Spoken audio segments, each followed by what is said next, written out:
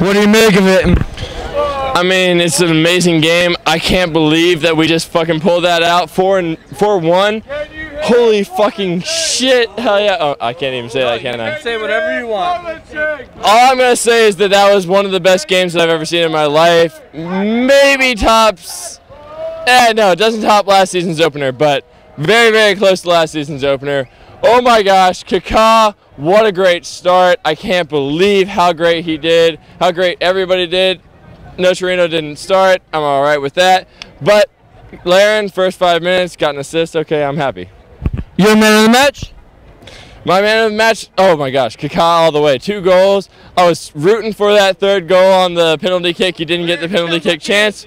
But hey, exactly. There you go. Two goals, and people are complaining about fantasy points.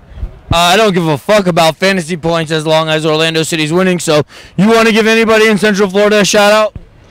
Um, go, go Talent Simulations. Come on, keep on selling your simulators, and go Red Cypress Brewery. You guys are doing great. You guys are making great beer. Um, uh, what is it called? Bring the Ruckus. Bring the Ruckus beer. Great Pilsner. All right, my man. Thank you. Thank you.